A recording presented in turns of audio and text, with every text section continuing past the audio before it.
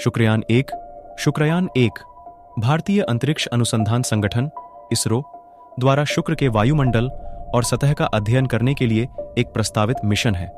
इसे दिसंबर 2024 में लॉन्च किया जाना है। शुक्रयान एक एक ऑर्बिटर मिशन होगा, जिसका अर्थ है कि यह शुक्र की परिक्रमा करेगा। यह एक उच्च resolution, synthetic aperture radar, SAR, और एक ग्राउंड पेनेट्रेट। पेनेट्रेटिंग रडार से लैस होगा। एसएआर ग्रह के चारों ओर बादलों, जो दृश्यता को कम करट हैं, के बावजूद शुक्र की सतह की जाँच करेगा। ग्राउंड पेनेट्रेटिंग रडार शुक्र की सतह के नीचे की परतों का अध्ययन करेगा।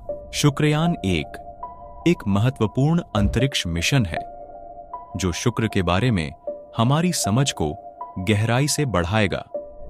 यह मिशन भारत को अंतरिक्ष अन्वेषण में एक प्रमुख खिलाड़ी के रूप में स्थापित करेगा।